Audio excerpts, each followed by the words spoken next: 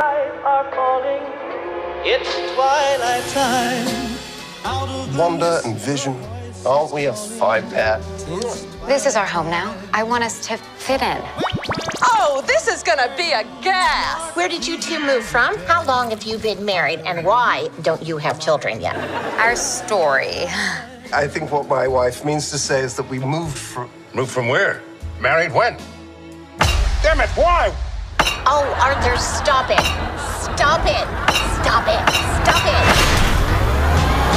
deep in the dark, your kiss will thrill me Is really happening? like days of old, lighting the spark of love that fills me. With dreams of coming. Am I dead? No. Why would you think that? Because you are.